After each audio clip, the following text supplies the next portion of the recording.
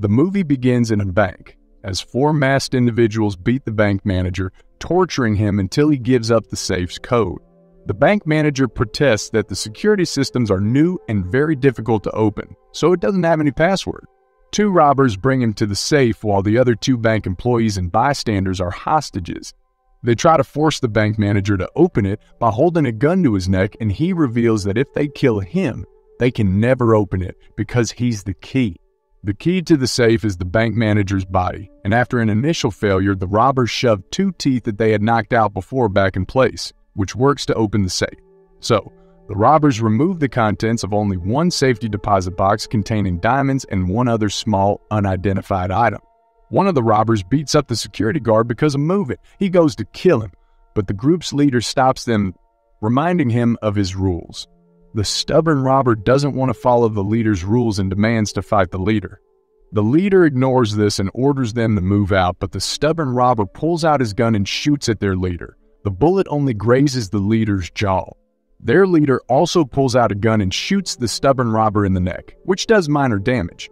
The stubborn robber gets angered, so he grabs the leader and they struggle.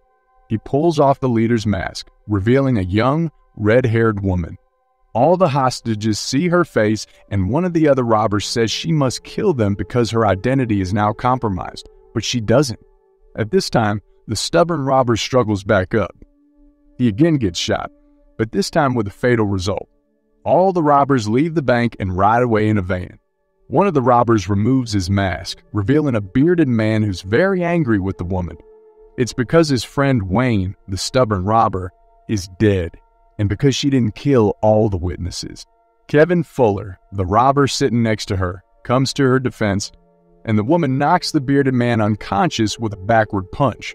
Later, the thieves split up, and the woman reminds the bearded man to lay low for a month, and then he'll receive 30,000 as the bearded man leaves, Kevin and the woman, Alex, say he couldn't have done the job without her.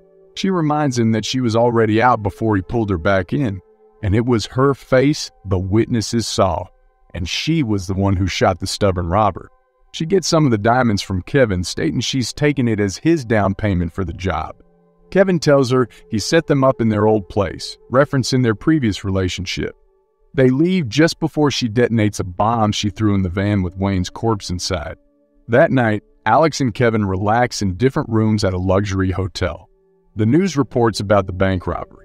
Witnesses have seen the woman's face, and a sketch of her gets flashed on the screen. Alex changes her eye and hair color to avoid people recognizing her from the news.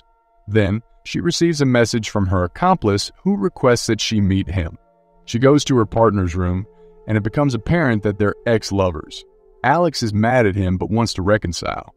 The man says he found some even better insurance with the diamonds and wants Alex to help him with it, but is disturbed by a knock on the door.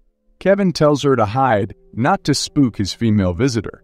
So, Kevin opens the door, revealing a woman named Jessica as his insurance, but some gunmen barge in behind her. The shooters capture Kevin and Jessica while Alex hides under the bed. Jessica gives up her cell phone with a sex video she plans to use as blackmail. He takes her phone, erases the video, and promptly shoots Jessica in the head. Then, the leader, Mr. Washington, orders his associates to torture Kevin and demands he gives back what they stole. Alex replies that the senator, their employer, already has enough money. Still, Washington needs the USB drive with the diamonds, the goons throw him over the bed and break his arm. Kevin laughs, saying the bed is uncomfortable, so it's probably made in China. Unbeknownst to the intruders, Alex is quiet and unnoticed under the bed the whole time. She hears his comment and sees the USB drive taped by a made in China sticker under the bed frame and keeps it safe. After the continuous torture, Kevin dies, annoying Washington as he can't get the information he needs. He tells his goons to clean up the mess and to find Kevin's partners to find out where the diamonds are. He calls a U.S. senator to report it. Alex sneaks out from under the bed and finds a gun, pointing it at Washington, but it doesn't have any bullets, so she runs out and into her hotel room. Washington's goons chase after her. Alex shoots one of them in the foot and hides. When Washington and his goons enter her room, she's already outside. She grabs the injured man, using him as her human shield against the others. She distracts them and goes into the elevator to escape. Meanwhile, Alex goes to the laundry room and grabs some clothes to change in. She runs to the parking lot, grabs an unattended car, and drives out of the building. Washington and his goons chase her on the city streets, and the police chase after her when Alex runs a red light. However, her car crashes, but she still manages to escape them all. Later, Alex shows up at the bearded man's apartment and offers him money to let her in, as Washington and his goons are nearby. She tells him Kevin is dead and explains her situation. He confidently prepares to defend his place but underestimates his opponents and is quickly killed. In the other room, Alex calls Kevin's wife, Penny, and warns her to get out of town immediately. She also asks her to bring the package containing the diamonds and disc, which she suspects Kevin has stashed at home in his bug out bag. Penny insults Alex because she knows of Kevin and Alex's affair and refuses to bring her any package. However, she reluctantly prepares to leave. Alex then hides in a ceiling space and overhears Washington's plan to kill Kevin's wife and child. He redials the telephone and it calls the Fullers. Kevin and Penny's son, Matthew, answer the phone. Washington learns of their address by tricking the young boy over the phone. At the Fuller's home, Penny retrieves Kevin's bug out bag from the garage ceiling, inadvertently breaking the windshield of her car in the process. She thoughtfully looks at the windshield fragments. Penny opens the package for Alex, sees a plane ticket and a fake passport for Alex, and throws it all in the trash.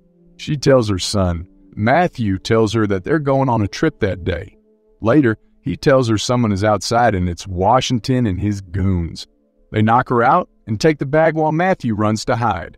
Washington leaves for the hotel with the bug out bag. Soon, Alex arrives on a stolen motorbike just in time to save Matthew from a goon. She struggles to fight the goon but manages to kill him. Another goon subdues Penny, but Alex distracts him, giving Penny a chance to grab a heavy toy and hit him repeatedly. When Alex tries to look at the USB drive on the Fuller's home computer, it turns on a GPS device to tell someone where they are. She tells Penny to leave, but Penny insists on offering to help. Meanwhile, Washington receives a phone call from the senator asking about the drive. He's annoyed when he says he's sending his right hand man, Doe MacArthur, to assist. Washington is annoyed but tells him assistance is needed as they have already handled the situation. As the cleanup at the hotel is taking place, Washington receives a call from Alex. She tricks him into revealing that they're at the hotel.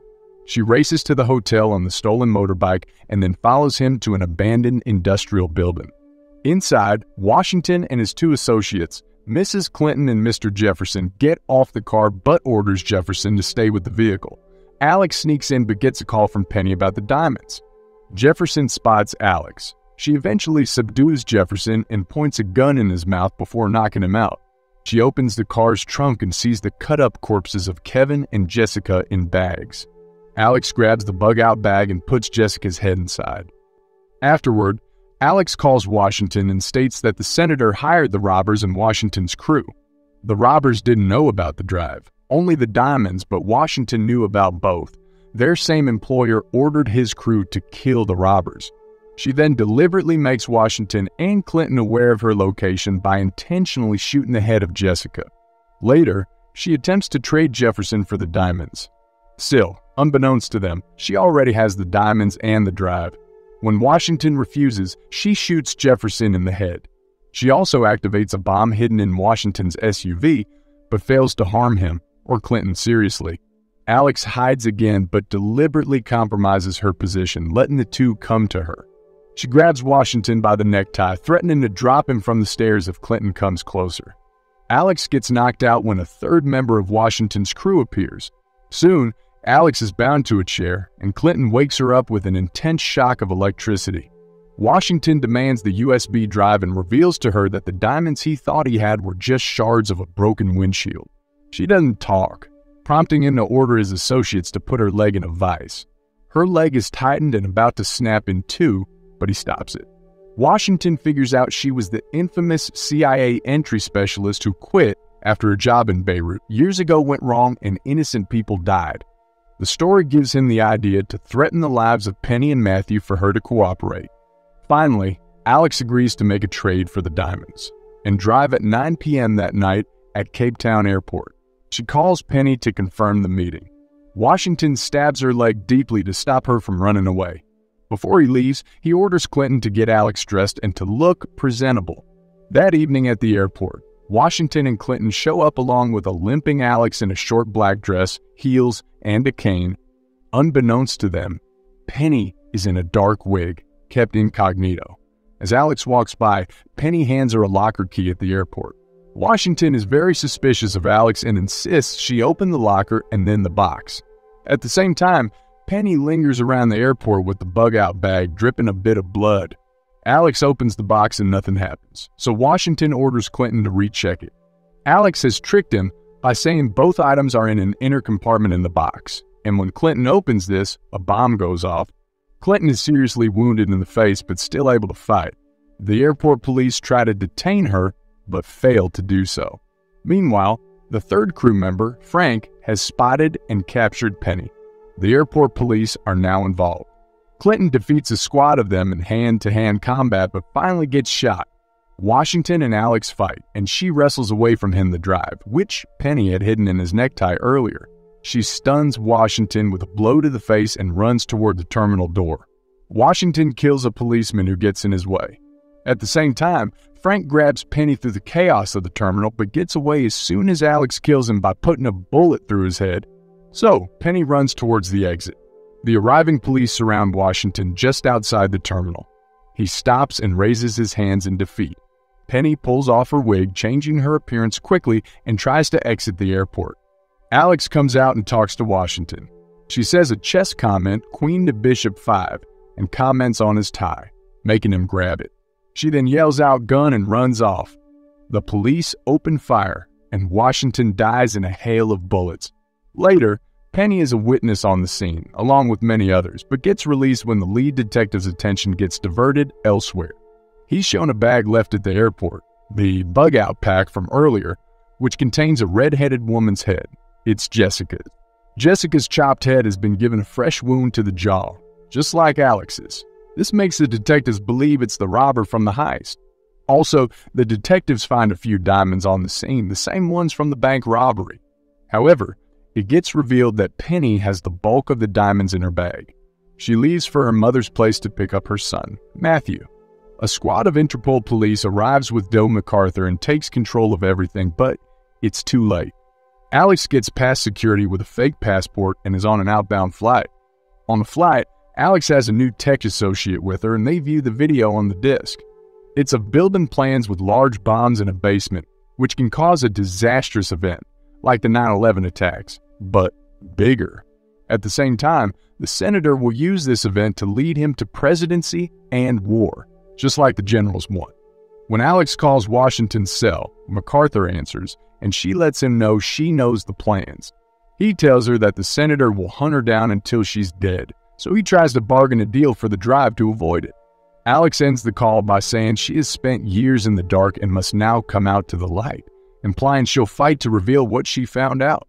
The movie ends with the senator and MacArthur discussing the situation. The senator wonders whether she'll be greedy or a martyr. MacArthur answers she'll be a martyr as she declares war against him. The senator mutters that for one to be a martyr, they would have to be dead.